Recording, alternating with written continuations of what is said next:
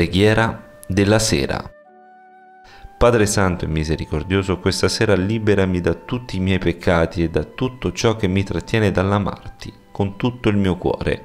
Allontana da me per sempre ogni desiderio contrario alla tua volontà, tu che hai mandato tuo Figlio sulla terra per essere la mia libertà e la mia santità. Riempimi del tuo Spirito Santo affinché possa un giorno contemplarti nel tuo regno. Amen.